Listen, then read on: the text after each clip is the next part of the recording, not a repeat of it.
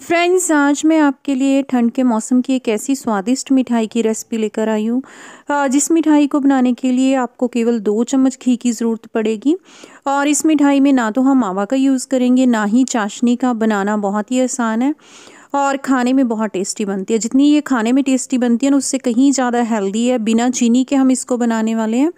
तो I hope आपको आज की ये रेसिपी अच्छी लगेगी। अच्छी लगी तो इसे लाइक ज़रूर कीजिएगा। तो चलिए फिर इसको बनाना शुरू करते हैं। इस मिठाई को बनाने के लिए हमने सबसे पहले एक कप लिए हैं सफ़ेद वाले तिल। आप इसकी जगह पे जो ब्राउन तिल आते हैं ना, भूरे तिल, वो भी यूज़ कर सकते हैं। तो जो भी तिल आपके पास घर पे अवेलेबल है या आपको मिलते हैं, आप वही तिल इसके लिए यूज़ कर सकते हो। तो तिल को अभी हम गैस के लो फ्लेम पे जो चार से पाँच मिनट के लिए ड्राई रोस्ट करेंगे। ध्यान इस चीज़ का रखना, गैस का फ्लेम हाई बिल्कुल नहीं करना, तिल जलने नहीं चाहिए। अगर तिल जल जाते हैं ना, ज़्यादा हम उसको रोस्ट कर देते हैं तो फिर मिठाई का टेस्ट भी कड़वा हो जाता है।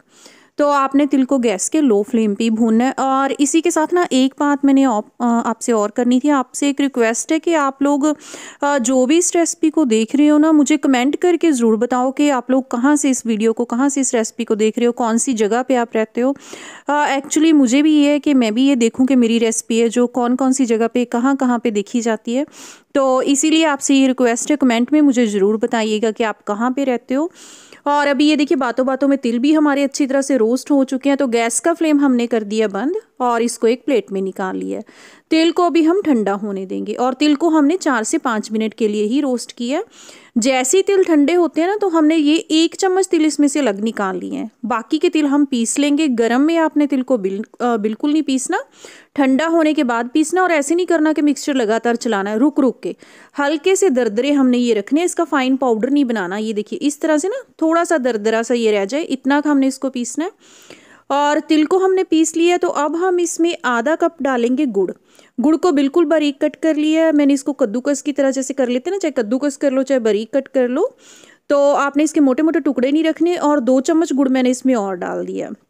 अगर आपको ज़्यादा मीठा पसंद है तो आप एक कप तक भी इसमें गुड़ डाल सकते हैं। ये एक कप से थोड़ा सा कम और आधे कप से ज़्यादा है।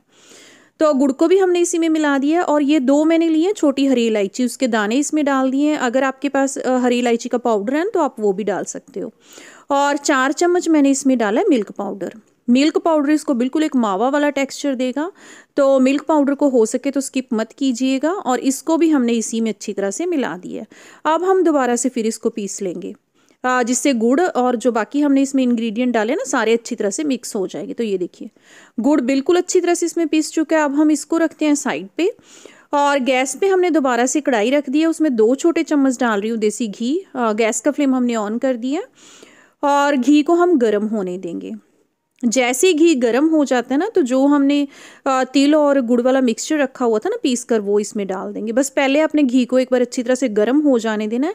इसके बाद इस मिठाई को बनने में आपको केवल दो से तीन मिनट के करीब ही लगेंगे। बस ज़्यादा टाइम नहीं लगता। जैसे ही हम घी में जो गर्म किया होता है ना, गर्म घी में इसको मिक्सचर को डालते हैं तो गुड़ एकदम से मेल्ट होना शुरू हो जाता है। गैस का फ्लेम अपने कम रखना है और इसको ओवर कुक बिल्कुल नहीं करना, ज़्यादा नहीं पकाना। जैसे ही आपको लगे ना मिक्सचर इकट्ठा होने लग गया और गुड़ इसमें मेल्ट हो चुका है, ये देखिए इस तरह से होना स्टार्ट भी हो गया ना, तभी आपने गैस का फ्लेम बंद कर देना। और ये जो हमने एक चम्मच तिल निकाल कर रखे हुए थे, वो मैंने डाल दिया और ये मैंने इसमें डाल रही हूँ बादाम और काजू का पाउडर बादाम और काजू को मैंने पीस कर रखा हुआ है, दो चम्मच हमने इसमें ये डाल दिया, इससे इसका टेस्ट और भी ज़्यादा बढ़ जाएगा और इसको भी हम इसी में अच्छी तरह से मिला देंगे।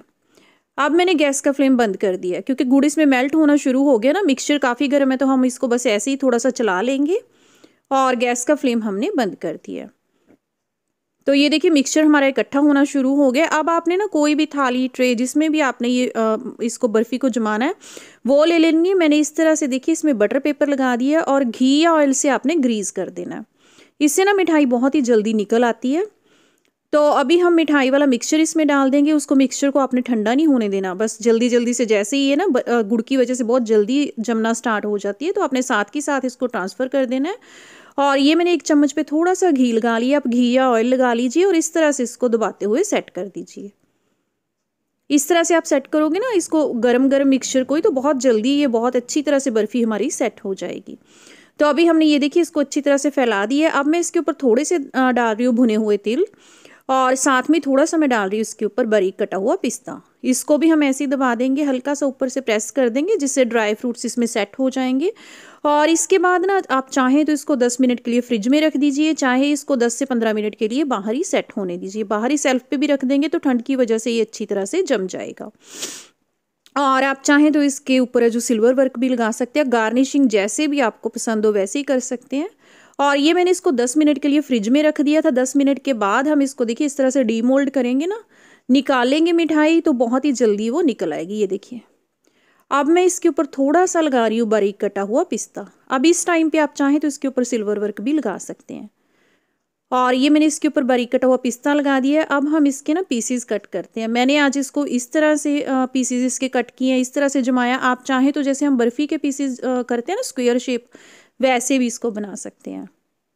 तो अभी मैंने बीच में से देखिए इसको कट कर दिया और आपको ना कट करने से ही पता चल रहा होगा कितनी सॉफ्ट हमारी ये मिठाई है जो बनकर तैयार हुई है। बस आपने एक चीज़ का ध्यान रखना, केवल इसको दस मिनट के लिए छोड़ना, बस दस मिनट के बाद ही इसमें जो इस तरह से कट के निशान लगा लेने हैं। दस मिनट में ही आपकी ये बर्फ़ी जमकर तैयार हो जाएगी और अभी मैं आपको ना इसका एक पीस तोड़कर भी दिखाती हूँ, आपको टेक्सचर पता चल जाएगा। ये देखिए देखकर ही आपको पता चल रहा होगा ना कितनी बढ़िया हमारी ये बर्फ़ी है जो जमकर तैयार हुई है। और आपने इसको बनाना तो देख ही लिया, कितना आसान है, केवल दो चम्मच घी में आप इसको बना लोगे। और इस मिठाई को आप आराम से जो दो हफ़्ते तक भी स्टोर करके रख सकते हो, जल्दी ये ख़राब नहीं होती। तो आई होप आपको आज की ये रेसिपी अच्छी लगी होगी। चैनल पर नए हैं तो चैनल को सब्सक्राइब ज़रूर कीजिएगा। और जो मैंने आपको बोला ना, मुझे कमेंट करके ज़रूर बताइएगा। जल्दी हम लोग मिलेंगे एक और नई रेसिपी के साथ। तब तक के लिए अपना ध्यान रखिए, अपनी फैमिली का ध्यान रखिए।